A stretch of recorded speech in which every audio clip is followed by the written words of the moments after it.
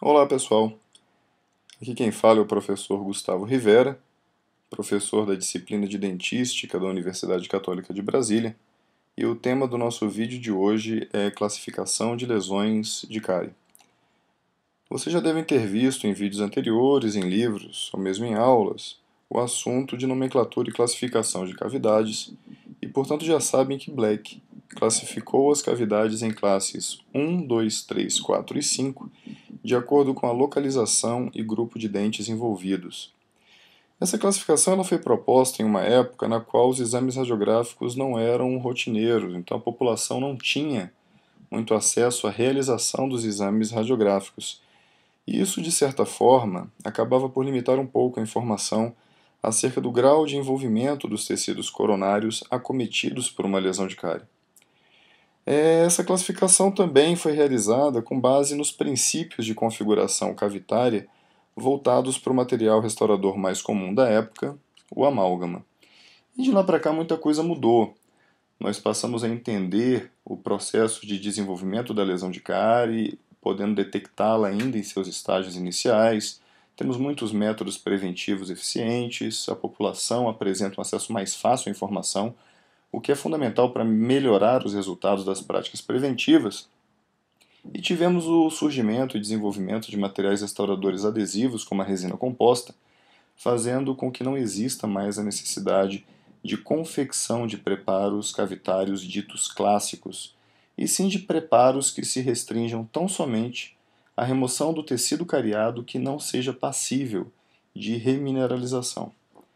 Em virtude dessas mudanças e de algumas carências, enfim, da classificação de Black, em 1997, Mount e Rumi propuseram uma classificação baseada na localização, mas também no tamanho ou grau de envolvimento das lesões de cárie. Então, o vídeo de hoje ele se propõe justamente a apresentar a classificação de Mount e Rumi e explicá-la. Então, vamos a ela. Iniciaremos então pela localização. Então, por essa classificação, é tida como área 1 lesões cariosas que afetem cicatrículas, fissuras e defeitos do esmalte em faces oclusais de dentes posteriores ou em outras faces lisas de todos os dentes. Então existe aí uma semelhança na localização para as classes 1 da classificação de Black. Então, área 1 de Mount Home, localização da lesão, cicatrículas, fissuras e defeitos do esmalte. A área 2 nessa classificação se refere a lesões que acometem áreas proximais, e áreas proximais tanto de dentes anteriores quanto de dentes posteriores. Temos ainda a área 3, que são lesões que acometem o terço cervical coronário ou área radicular exposta pós-recessão, também tanto de dentes anteriores quanto de dentes posteriores, independentemente da face acometida pela lesão, sendo ela ou proximal, ou então vestibular, ou lingual ou palatina.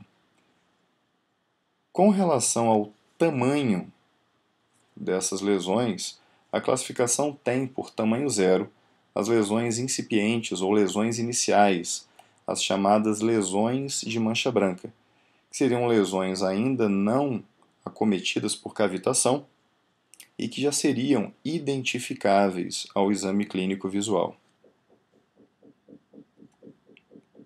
Temos por tamanho 1 lesões cariosas, que já envolvem a presença de uma cavitação, no entanto, uma cavitação limitada ao tecido de esmalte, uma cavitação muito pequena. O tamanho 2 dessa classificação envolve lesões que já apresentam uma destruição e envolvimento moderado da dentina, seriam as lesões cariosas cavitadas, já que tem a presença de um tecido cariado amolecido que necessita ser removido porque não é passível de remineralização, e lesões estas que já necessitam de uma intervenção invasiva. Temos ainda o tamanho 3, seriam lesões com maior envolvimento e maior acometimento da estrutura dentária, e a estrutura remanescente ela fica fragilizada, tanto cúspides quanto bordas incisais, apesar de não terem sido perdidas, já estão de certa forma, bastante fragilizados pelo grau de envolvimento da lesão de cárie. E por fim, nós temos o tamanho 4, que são lesões muito extensas que já envolvem a perda de cúspide ou de borda incisal, e justamente essas perdas extensas também necessitariam de tratamentos restauradores. Uma vez apresentadas então as áreas acometidas pelas lesões de cárie, os tamanhos dessas lesões dentro dessa classificação de Mount-Rume, é apresentada nessa tabela a classificação completa envolvendo tanto a questão das áreas quanto a questão dos tamanhos das lesões de cárie.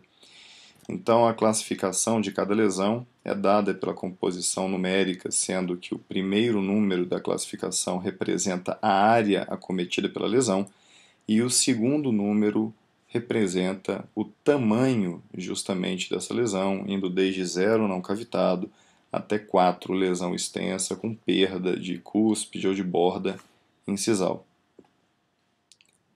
Como informações adicionais, nós temos, e é até natural que isso exista, uma comparação entre a classificação de Mount Rume com a classificação de cavidades de Black.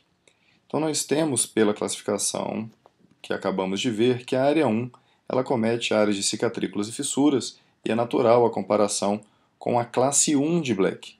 No entanto, os tamanhos 0 e 1 da classificação de Mount Rume, eles não entrariam nesse comparativo à classificação de Black, primeiro porque o tamanho 0 refere-se a uma lesão não cavitada, e a classificação de Black é uma classificação de cavidades, então já não entraria esse tipo de relação.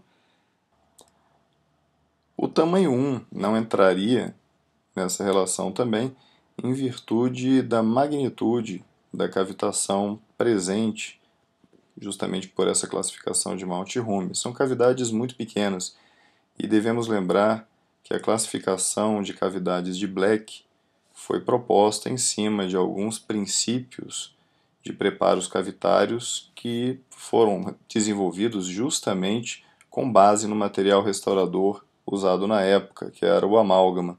Então, cavidades pequenas demais não estariam obedecendo esses princípios, tais quais são propostos na classificação de Black. Temos ainda a área 2 é, de Mount Home, que poderia ser relacionada com as classes 2, 3 e 4 de Black, justamente por acometerem também áreas proximais dos dentes. Com relação às classes 2 e 3, o tamanho 0 e 1 ele não entra nessa relação justamente pelos mesmos motivos explicados anteriormente na comparação área 1 classe 1. Com relação à classe 4 de Black, ela se encontra especificada na classificação de Mount e Rume pela numeração 2.4.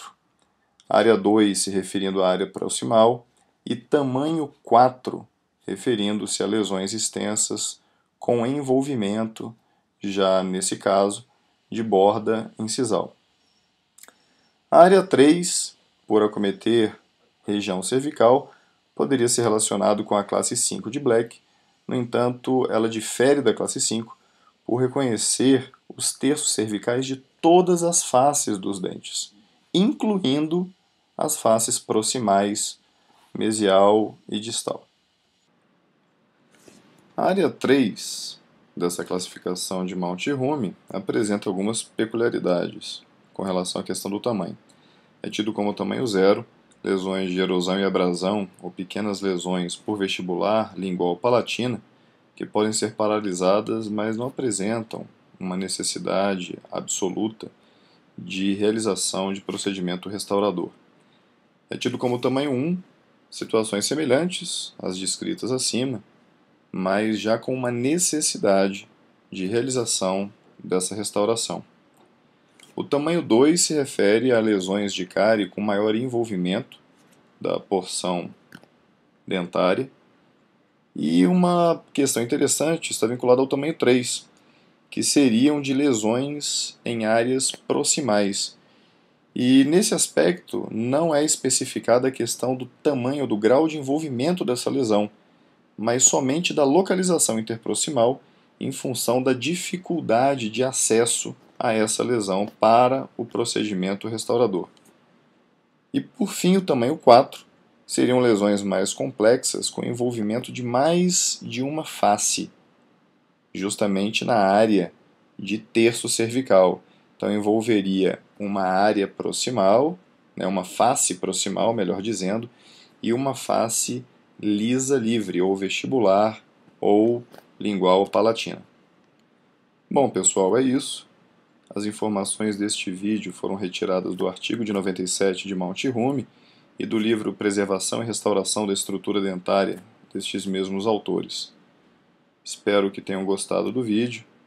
Caso vocês tenham alguma dúvida ou queiram entrar em contato com a nossa equipe, ficam aí os canais do YouTube, do Facebook, do Twitter, do Google Plus e o nosso e-mail para contato.